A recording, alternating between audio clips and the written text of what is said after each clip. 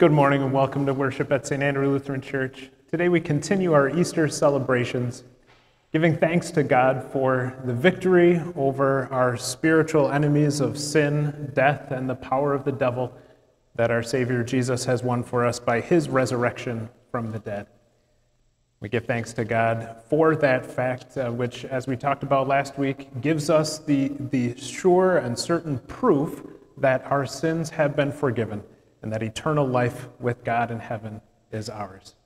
And so, in, the, uh, in our sermon text this morning, we focus especially on the Word of God to us through the Apostle John, in which God tells us how we can distinguish from the true faith and uh, many false claims about salvation and God and spirituality that exist in the world. And that is to believe that Jesus is the Son of God. And everyone who has faith in Jesus as the Son of God and the Savior, we then also become sons and daughters of our Heavenly Father. So we give thanks to God for that, for His grace and the, the guidance of the Holy Spirit, which allows us to know this truth of our salvation. We praise our God this morning, beginning with our opening hymn, He's Risen, He's Risen, on page three in the service folder. May God bless our worship.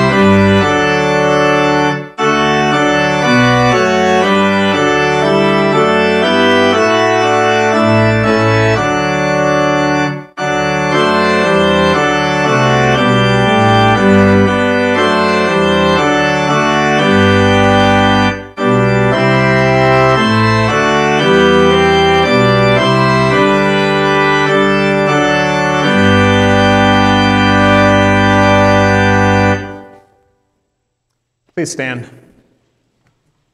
We continue at the bottom of page three in the service folder. Alleluia. Christ is risen. In the name of the Father, and of the Son, and of the Holy Spirit. Beloved in the Lord, let us draw near with a true heart and confess our sins to God our Father, asking Him in the name of our Lord Jesus Christ to grant us forgiveness. Holy and merciful Father, I confess that I am by nature sinful and that I have disobeyed you in my thoughts, words, and actions. I have done what is evil and failed to do what is good. For this I deserve your punishment, both now and in eternity. But I am truly sorry for my sins, and trusting in my Savior Jesus Christ, I pray, Lord, have mercy on me, a sinner. God, our Heavenly Father, has been merciful to us and has given His only Son to be the atoning sacrifice for our sins. Therefore, as a called servant of Christ and by His authority, I forgive you all your sins. In the name of the Father, and of the Son, and of the Holy Spirit. Amen. In the peace of forgiveness, let us praise the Lord.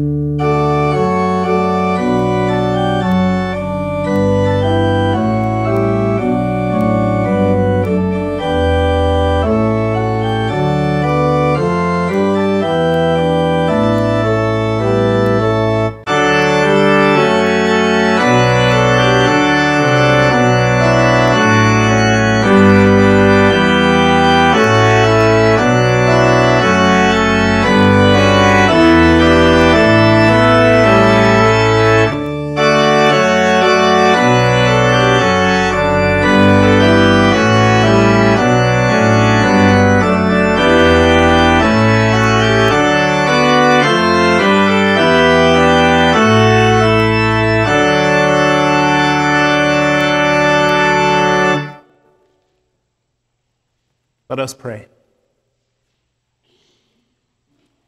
O risen Lord, you came to your disciples and took away their fears with your word of peace. Come to us also by your word and sacrament, and banish our fears with the comforting assurance of your abiding presence. For you live and reign with the Father and the Holy Spirit, one God, now and forever. Amen. You may be seated. The first reading from God's Word for our meditation this morning is from the book of the Acts of the Apostles, chapter 26, verses 6 through 29.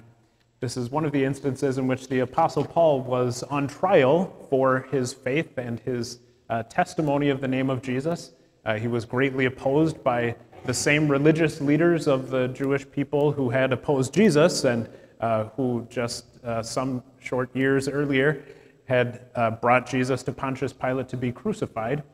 And they had plotted to kill Paul uh, in secret, even though they didn't have the legal authority to do so. Uh, but uh, those plans were thwarted, and Paul was instead arrested and left to languish in prison for a number of years.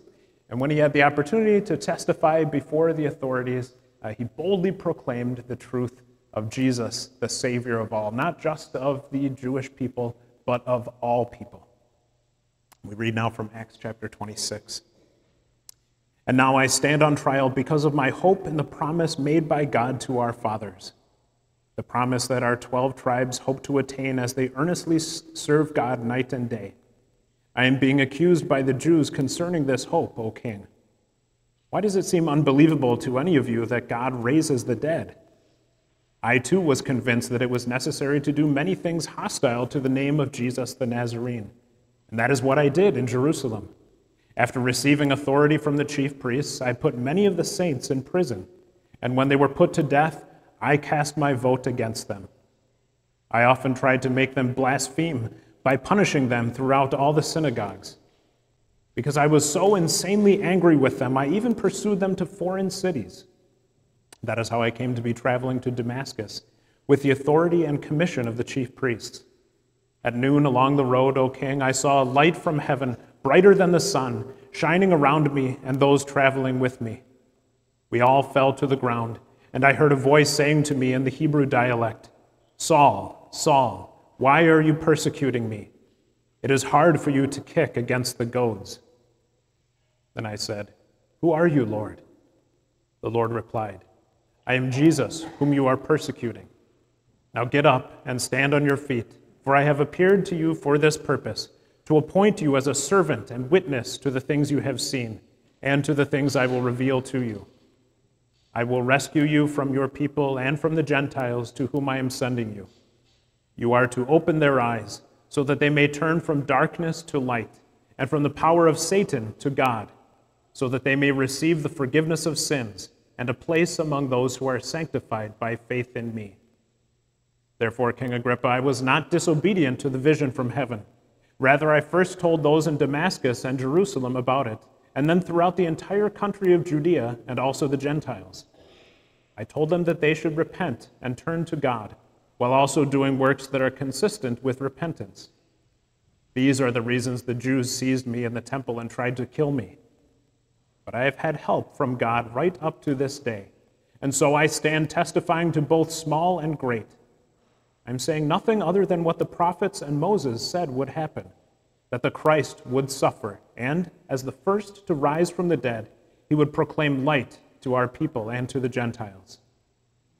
While Paul was saying these things in his defense, Festus shouted, Paul, you are out of your mind. Your great learning is driving you insane. But Paul replied, I am not insane, most excellent Festus, but I am clearly speaking words that are true and sensible. Certainly, the king to whom I am freely speaking knows about these things.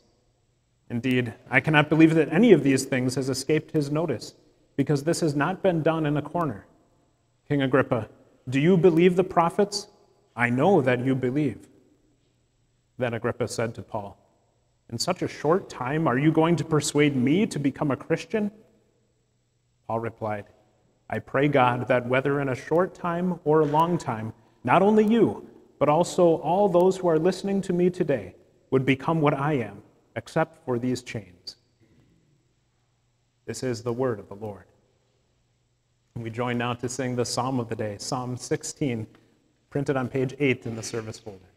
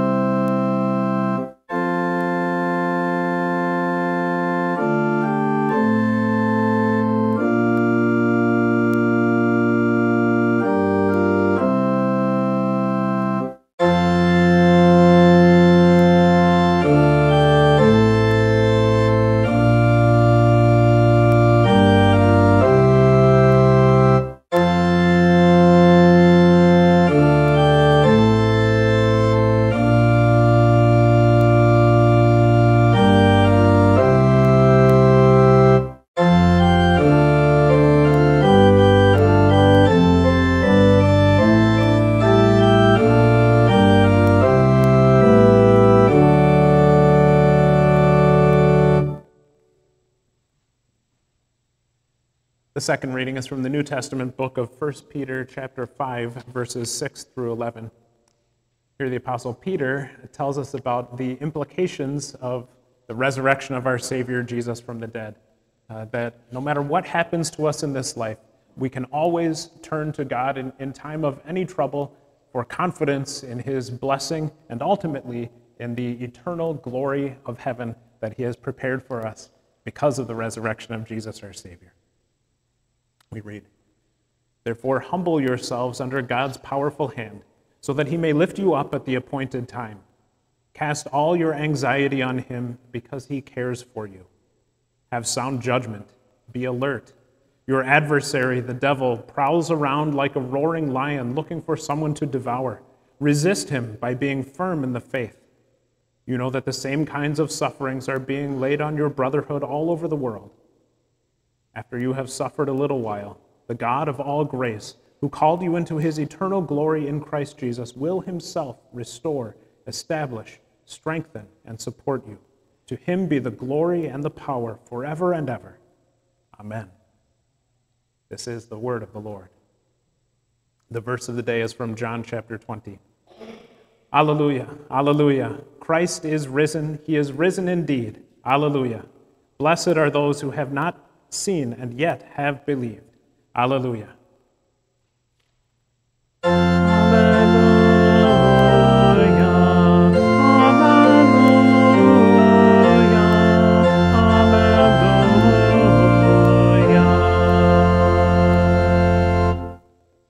Please stand for the reading of the gospel.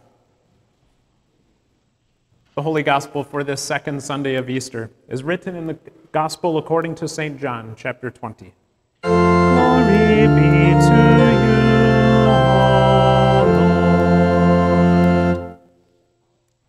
These events take place uh, on that first uh, Easter evening, and then also a week later, on the week after Easter, uh, one time at which Jesus appeared to his disciples when Thomas was not with them and then a week later, uh, Thomas was with them, and Jesus appeared to them again. On the evening of that first day of the week, the disciples were together behind locked doors because of their fear of the Jews. Jesus came, stood among them, and said to them, Peace be with you. After he said this, he showed them his hands and side. So the disciples rejoiced when they saw the Lord. Jesus said to them again, Peace be with you. Just as the Father has sent me, I am also sending you. After saying this, he breathed on them and said, Receive the Holy Spirit. Whenever you forgive people's sins, they are forgiven. Whenever you do not forgive them, they are not forgiven. But Thomas, one of the twelve, the one called the twin, was not with them when Jesus came. So the other disciples kept telling him, We have seen the Lord. But he said to them, unless I see the nail marks in his hands and put my finger into the mark of the nails and put my hand into his side, I will never believe. After eight days, his disciples were inside again, and Thomas was with them. Though the doors were locked, Jesus came and stood among them. Peace be with you, he said. Then he said to Thomas, Put your finger here and look at my hands. Take your hand and put it into my side do not continue to doubt, but believe. Thomas answered him, My Lord and my God. Jesus said to him, Because you have seen me, you have believed. Blessed are those who have not seen and yet have believed. Jesus, in the presence of his disciples, did many other miraculous signs that are not written in this book. But these are written that you may believe that Jesus is the Christ, the Son of God, and that by believing you may have life in his name. This is the gospel of our Lord. Praise be to you,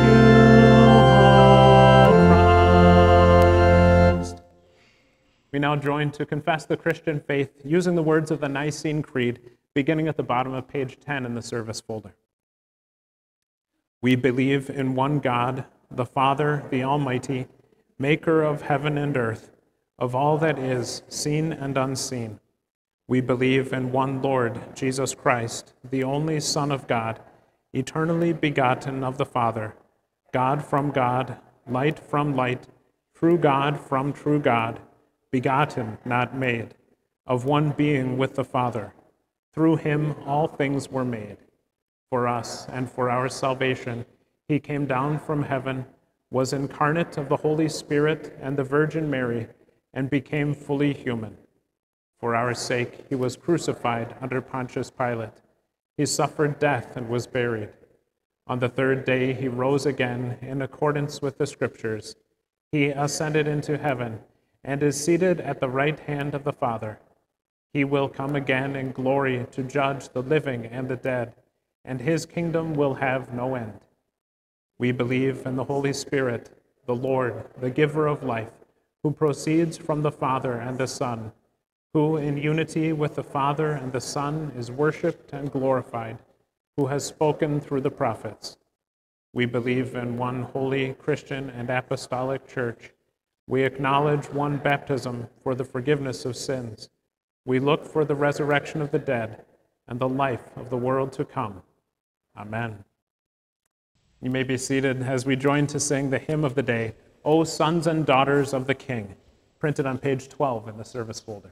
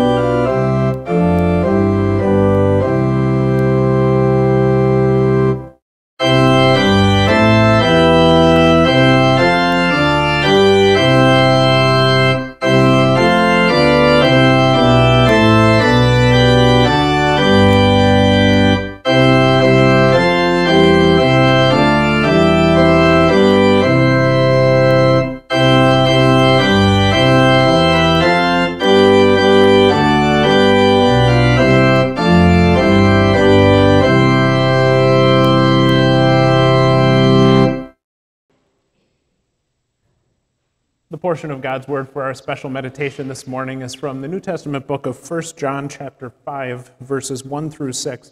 You can find those verses in the Pew Bible. If you take the Bible, if you wish to follow along with printed form, you can take the Bible out of the pew rack in front of you and turn to page 1210, page 1210. Or you can simply listen as I read the verses now. The Apostle John writes, Everyone who believes that Jesus is the Christ is born of God, and everyone who loves the Father loves his child as well. This is how we know that we love the children of God, by loving God and carrying out his commands.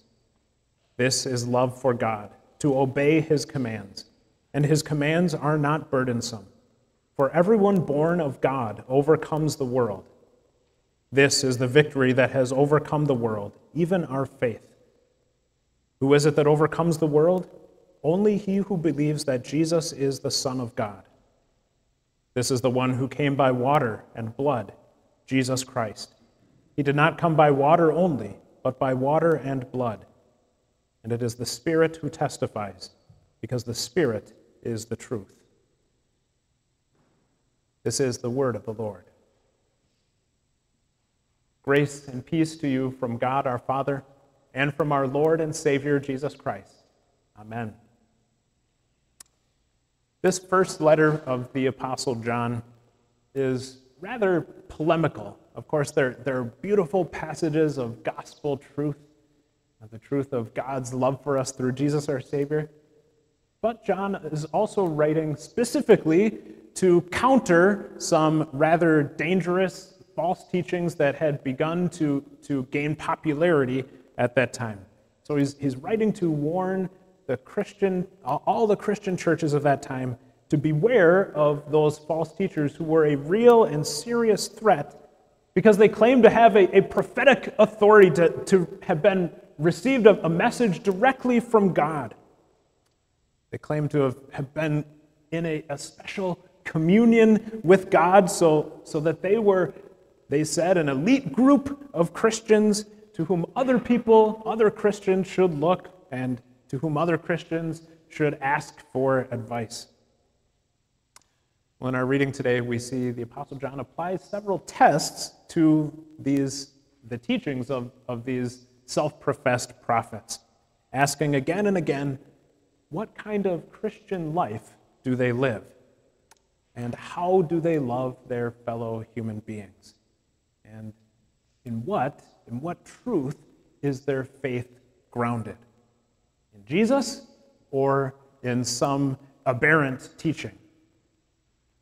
In our sermon text from 1 John chapter 5, the Holy Spirit shares counsel through the Apostle John on three tests of the true faith, how we can determine what is the truth from God for us to believe. So first of all, we see in 1 John chapter 5 verses 1 and 2, John writes Everyone who believes that Jesus is the Christ is born of God, and everyone who loves the Father loves his child as well. This is how we know that we love the children of God, by loving God and carrying out his commands. So we see three very important actions or, or attitudes in those verses believes, loves, and carries out his commands. And these tests do more than simply inform us of some historical problem in the Christian church 2,000 years ago. They point us also right to the problem in our own hearts and lives. And they cause us to cling ever more firmly to our risen Lord and Savior Jesus. And so let's focus on each of these three tests that the Apostle John mentions in this reading. First of all, he mentions believing, and, and that doesn't mean just to have any belief, just to, no matter whatever you believe in your heart, your truth, that truth is good enough for you. No, he says in verse 1 everyone who believes that Jesus is the Christ is born of God. So the Bible doesn't mention this name, but uh, in other ancient historical texts, we read about a man named Cerinthus who lived at the time of the Apostle John, who who simply couldn't wrap his mind around the biblical truth that Jesus was born of a virgin, of a woman who had never been married or who had never had a relationship with a man. He, thought it was impossible. And so he believed that Jesus was simply the natural born son of Joseph and Mary. And so he taught that Jesus was, yes, a superior man. He showed evidence of that in his life, he, he said that he was a, a man who was specially endowed by God with a, a, tremendous amount of righteousness. He lived a very moral and upright life with, with special knowledge and wisdom and power from God. But he himself was not actually the Son of God, was not true God, this man Cerinthus said.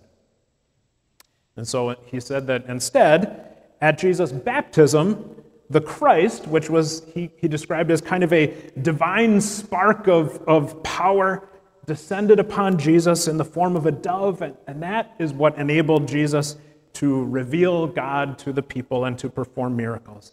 But then he said that before Jesus' suffering and death on the cross, that that divine spark, the Christ, left Jesus, and so that on the cross, only the human being, Jesus, suffered and died. Well, as we evaluate that idea, we can immediately see, especially if we recall the, the Bible passages that we read in our sermon text last Sunday on Easter Sunday from 1 Corinthians chapter 15, we can immediately see what this kind of idea does to the heart and core of the Christian faith. If it was only a human being who suffered and died, then his death has no meaning whatsoever beyond himself. It has no ability to overcome sin and death for you and me. If that were true, then the Christian religion is, is reduced simply to a nice set of, of pious rules to follow, to follow in the example that Jesus set while he was living on the earth. But, but then the victory of the resurrection would only have been his alone. And as Paul writes in 1 Corinthians chapter 15, if that were true, then we are the most pitiful of all people because that means we are still in our sins and destined for death and ultimately eternal death in hell. But lest we get the idea that Cerinthus' heresy was settled once and for all by the Apostle John's letter, and that this morning we're simply just having a nice history lesson that doesn't really apply all that much to us today, just think about in your own life how recently perhaps a, a, neighbor or a friend, an acquaintance has said to you, someone, someone who is not a Christian has said to you, well, we, we may have different beliefs, but after all, we're, we're all just trying to get to the same place. Uh, we're all just trying our best to live a good life so that we can all end up in heaven. Or when was the last time that, uh, that you simply had to believe felt, you felt in your heart that you just had to believe more strongly in God in order for God to really accept you, or you just had to, to try a little bit harder in order to earn God's favor. Well, those opinions are, at the root, actually very similar. They're both saying uh, indirectly that, yes, Jesus was just a, a very good person, a, a good moral teacher and example. Yes, he was a specially blessed by God and whose life was, was an example that God put there for us to follow, but whose death and resurrection really don't actually have very much impact on us, except for just giving us uh, some direction to follow through, through our lives. But in fact, the exact opposite of this idea is true. Our salvation has indeed been won by the Lord Jesus Christ, God's Son, who lived and died and rose again, all in our place as our substitute, our Savior. God calls us his children because Jesus died on the cross in order to win that privilege for us. And we come to Jesus not just for an example to follow in our lives, but for the very grounding, the foundation of our faith for the source of forgiveness and salvation whenever we doubt and wander away from Him and His will into sinful thoughts or words or actions. remember from the life of Jesus about the father who came to Jesus pleading for Jesus to heal his son. And Jesus asked the boy's father, well, How long has he been like this? From childhood, he replied. And speaking of the demon that possessed him, it has often thrown him into fire or water to kill him. But if you can do anything, he said to Jesus, take pity on us and help us. And Jesus replied, If you can, everything is possible for him who believes. And then immediately that boy's father cried out, Lord, I believe. Help me overcome my unbelief. Plea of that father is ours as well. On this second Sunday of Easter, we are reminded again that we can do nothing to earn our own salvation. That has all been accomplished for us by Jesus our Savior, because he is God's all glorious and all powerful Son, the Savior that God had promised to send all the way back, almost at the beginning of time, to Adam and Eve after they first sinned, the one that he had promised would bring restoration to the world and restore a harmonious relationship between God and people. And as we have said, Jesus is Lord, we have the salvation that God has promised to his people. And so now, as believers in Jesus, we daily seek the power of the Holy Spirit to know and, and ever more firmly believe his salvation, even in the face of contradictory opinions that we hear in the world around us, even in the face of events in our own lives that lead us to wonder and doubt about whether God's love is real for us. So, the first test of the true faith is where do we go when we doubt? Do our questions lead us to wonder about our salvation? To doubt whether we really are saved? Because if we were, certainly God wouldn't allow these things to happen in our lives. Not at all. By the Holy Spirit's blessing, our questions simply become the way in which God brings us to a stronger faith in Him as He answers those questions with the assurance of His love and salvation through His Word. The Apostle John writes in verse 1 of our reading Everyone who believes that Jesus is the Christ is born of God, and everyone who loves the Father loves his child as well. And so here we see John telling us the second test of resurrection faith is our love for each other. So we see an example of that in our gospel reading for today from John chapter 20. The Bible doesn't tell us where Thomas was on that Easter evening when Jesus appeared to the other 10 disciples and others who were gathered together. When, when Jesus granted them that strange and wonderful gift of the Holy Spirit when he called them back into his service after just a, a couple of evenings earlier, they had all forsaken him and fled for fear of their lives when Jesus was arrested in the Garden of Gethsemane. We can imagine that there must have been a great deal of confusion in those days after Maundy Thursday and Good Friday, after Jesus had been arrested and then, and then crucified. And so, when perhaps it was when the disciples scattered on Thursday evening that Thomas had become separated from the others, and maybe he didn't know where they had met up together. Or perhaps he was simply out on, on some errand when Jesus appeared to the other disciples on that first Easter evening. But no, wherever he was, when he did rejoin them, he came face to face with those brothers in Christ who had experienced something marvelous something that, that normally they, they wouldn't have been able to believe if they hadn't seen it with their own eyes the appearance of the risen Lord Jesus himself. And Thomas, who hadn't been there to see it, found that he simply could not bring himself to believe something so unbelievable. But what happens next is something rather surprising. Thomas's doubt doesn't make him an outcast from the other disciples. Wouldn't it have been neat to, to have been there in that room in order to, to see that conversation that unfolded? Imagine the wonder that the other disciples expressed in their replies.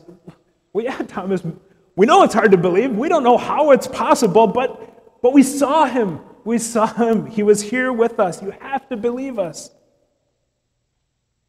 But when Thomas didn't believe, after, even after the repeated testimonies and encouragements, well, they didn't cast him out and lock him outside the room they were in. No, he was there together with them a week later when again Jesus appeared to them and said, Peace be with you. We can imagine that during that intervening week, what must have seemed like an eternity of doubt to Thomas, his fellow disciples supported him and stayed with him. That's just what the widow or the parent of a, a sick child or the person who is, is feeling abandoned and alone needs from their fellow believers. At times when life seems to knock us down and, and, and rub our face in the mud, believers are left to question deeply all that they have known and believed about God up to that point. It's just at that time that the love and concern of fellow Christians can support them and help to lead them through those darkest days of their lives. The Apostle John says in our reading that that's exactly what happens when Christ lives in and with his people and when they have firm faith in him. Then we are enabled to love those who have doubts or, or those who sin against us because we know that Jesus has forgiven them just as he has forgiven us. And his love heals that breach. In verse 3 of our reading, we come to the third test of the true faith. And the Apostle John says that that is found in obeying God's commandments. He says, This is love for God, to obey his commands. And his commands are not burdensome. Now, by ourselves, of course, we could never fulfill all of God's commands 100% perfection, 100% of the time as God's law requires. And in fact, we often resent, if not openly, at least sometimes in our hearts, having to live by these rules when we see so many people in the world around us who don't live by those rules and seem to be doing just fine in their lives, even without obeying. We have the power of the risen Savior, Jesus, within us by his Holy Spirit, so that we naturally and joyfully obey God's commands as a result of his love for us, motivated by his amazing grace to us. And so we, we catch ourselves actually forgiving where maybe we have been tempted not to before, or going out of our way to help someone that maybe we would never have helped before. Then we have further evidence that the resurrection faith is ours because Jesus himself is working his new life within us. Following the commands of God is not burdensome, John tells us. The new life that we have through our risen Savior Jesus fills us so that we, as a renewed part of God's creation, work and live and love in this world in the way that God intended. And that sense of things working in the way God intended makes our fulfilling of His will simply an easy yoke to carry, a, a light burden as we follow our Savior Jesus, motivated by His amazing grace for us. So our faith in the risen Jesus is truly a new birth, a new spiritual life within us when it is built on that foundation of Jesus, the Savior. It moves us to love others and to obey God's commands. What a joy it is that our risen Savior Jesus lives in us and empowers us. Let's go and live in his love. Amen. And we join now in singing our next hymn, We Walk by Faith and Not by Sight, on page 13 in the service folder.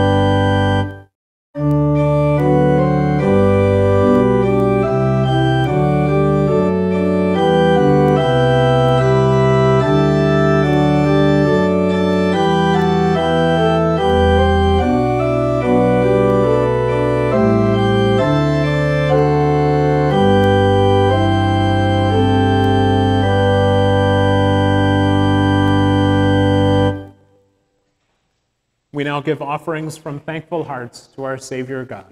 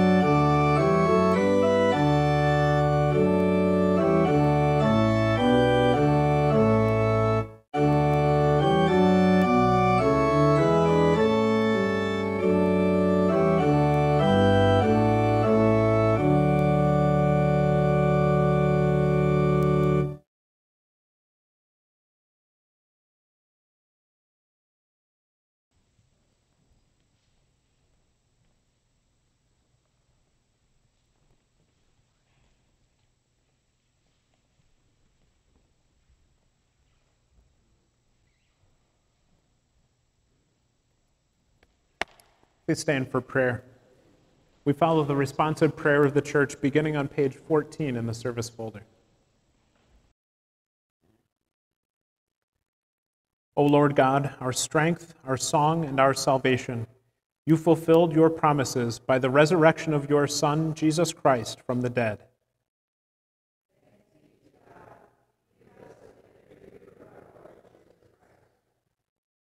In your compassion, you sent Christ, the Good Shepherd, who laid down his life to rescue the lost.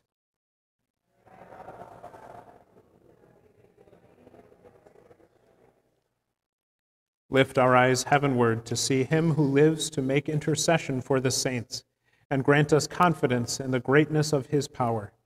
Keep before us the vision of your redeemed people, standing before your throne and singing the song of victory.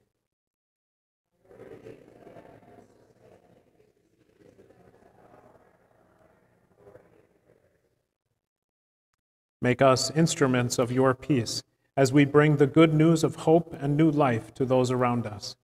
Guide us in the use of all that you have entrusted to us our time, our talents, and our treasures.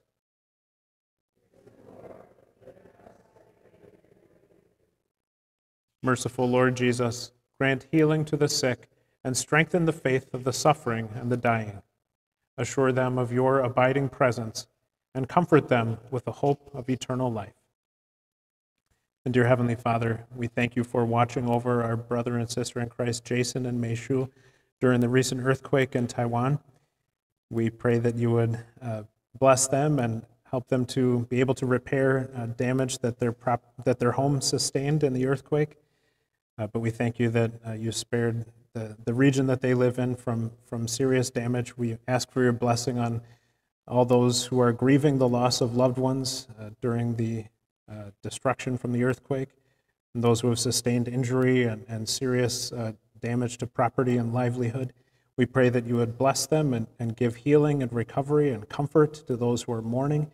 And especially, we pray that you would use this tragedy uh, to bring many to believe in you as their Savior, giving them the, the true comfort that comes from knowing your Son Jesus as their Savior.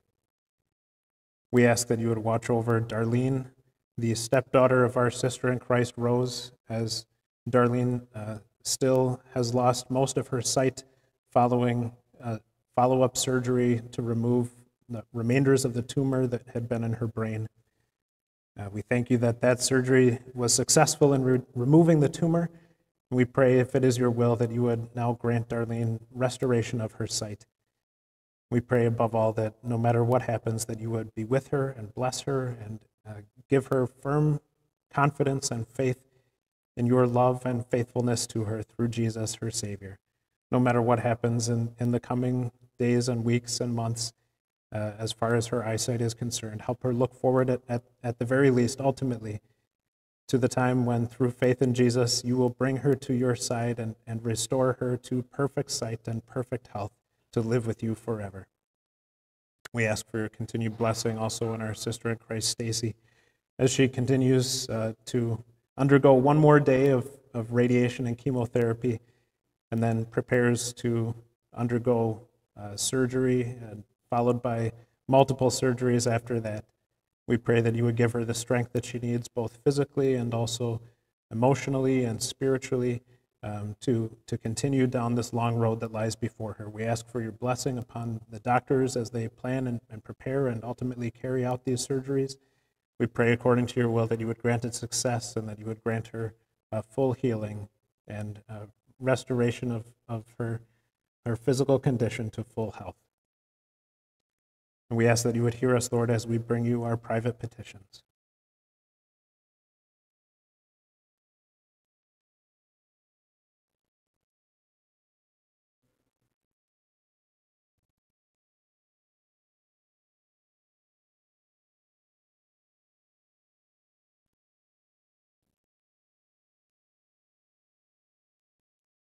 Gracious Father, you have restored to us the joy of your salvation. With happy hearts, we come before you and say, Alleluia, thanks be to God. Amen. Our Father, who art in heaven, hallowed be thy name. Thy kingdom come, thy will be done on earth as it is in heaven. Give us this day our daily bread, and forgive us our trespasses, as we forgive those who trespass against us and lead us not into temptation, but deliver us from evil. For thine is the kingdom, and the power, and the glory, forever and ever. Amen. We now continue with the sacrament portion of the service. As noted in the service folder, following the teachings of the Bible, we practice close communion, and so we ask that only those who are current communicant members of this congregation or of one of our sister churches in the WELS or the ELS would come forward to receive the Lord's Supper this morning. For any visitor who is not a communicant member of one of our sister churches, we ask that you would simply observe the Lord's Supper this morning. But I'd be very happy to speak with you about possibly becoming a member of our church and receiving the Lord's Supper with us in the future. And we now continue with the spoken responses at the bottom of page 15 in the service folder. The Lord be with you. Lift up your hearts. Let us give thanks to the Lord our God. It is truly good and right that we should at all times and in all places give you thanks, O Lord, Holy Father, Almighty and everlasting God, through Jesus Christ our Lord. And we praise you especially for the glorious resurrection of your Son, the true Passover Lamb, who by his sacrifice took away the sins of the world, and by his resurrection restored everlasting life. Therefore, with all the saints on earth and hosts of heaven, we praise your holy name and join their glorious song.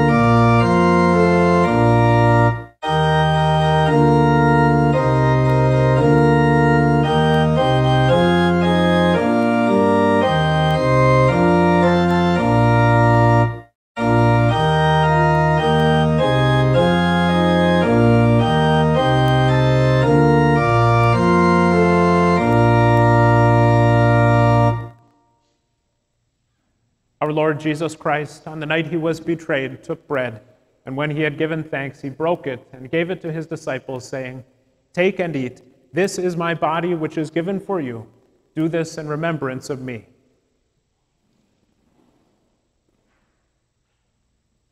Then he took the cup, gave thanks, and gave it to them, saying, Drink from it, all of you. This is my blood of the new covenant, which is poured out for you for the forgiveness of sins. Do this whenever you drink it in remembrance of me. The peace of the Lord be with you always.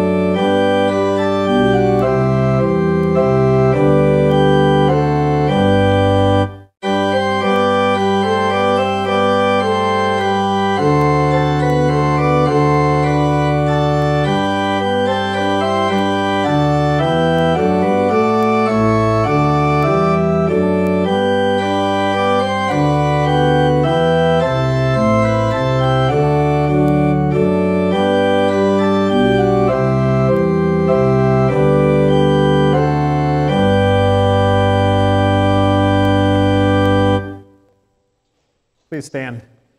We join together in the Song of Simeon on page 18 in the service folder.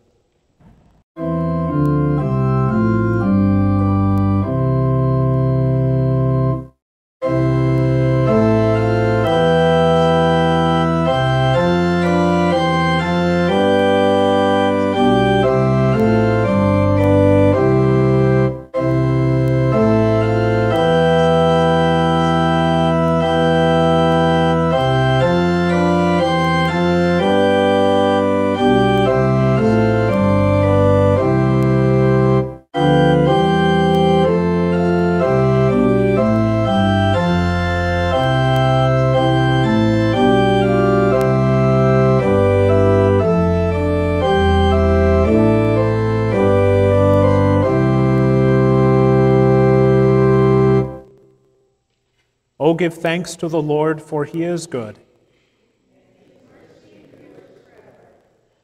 Almighty God, by the glorious resurrection of your Son, Jesus Christ, you conquered death and opened the gate to eternal life. Grant that we who have been raised with him through baptism may walk in the newness of life and ever rejoice in the hope of sharing his glory.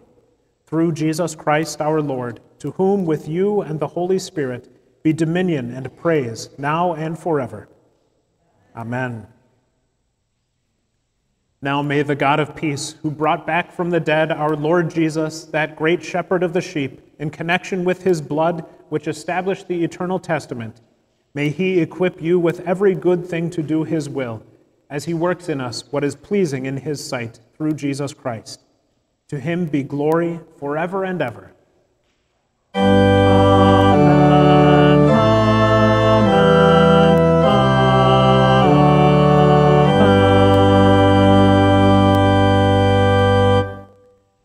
Be seated as we join to sing our closing hymn, I Know of a Sleep in Jesus' Name, on page 19 in the service folder.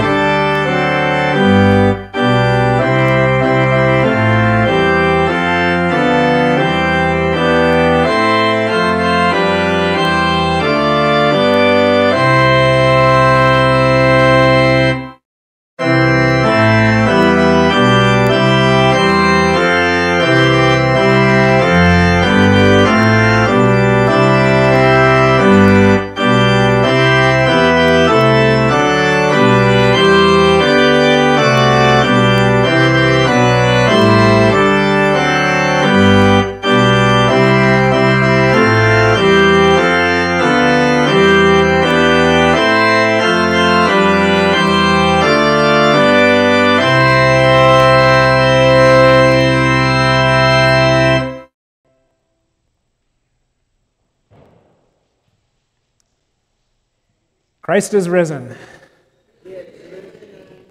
Hallelujah.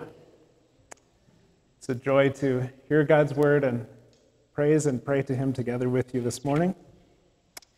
Warm welcome to our visitors who are with us this morning. Uh, feel free to everyone to stick around and introduce yourself to anybody you don't know yet. Uh, everyone's welcome to enjoy a time of fellowship together, and then all are invited to stay for our adult Bible study as we continue our uh, series that we've been slowly working our way through uh, 10 Lies About God. Uh, so, similar to what we brought up in our sermon this morning, sometimes some of the, the, the voices, the opinions that we hear about God and spirituality, even about the Bible and Christianity, may sound reasonable, but when we compare them to God's Word in the Bible, we find out that they are not all entirely true. So that's what we're going through in this Bible study. You're invited to join us, even if you haven't been with us before. You'll be able to jump in uh, very easily. And our children are uh, welcome to stay for Sunday school following the service as well. Um, let's see, just a couple of things to highlight from the announcements in the, the back of the service folder. Uh, one is that uh, former St. Andrew pastor Doug Semensky, who is member of our sister church, Good Shepherd in Downers Grove, uh, extends a warm invitation to all of us. Uh, whoever would like to come, friends and, and uh, as well, are welcome to this coming Saturday. Good Shepherd is hosting a speaker uh, presenting on the topic of Abraham Lincoln's use of the Psalms.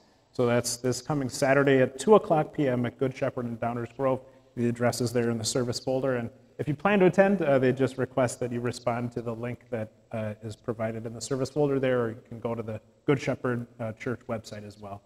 Or if you'd like to contact Pastor Semensky, I'm sure he'd love to hear from you. And uh, we've had some, some scam calls for numbers that we've printed in the service folder before, so I didn't put his number in the service folder uh, so that he doesn't get any scam messages.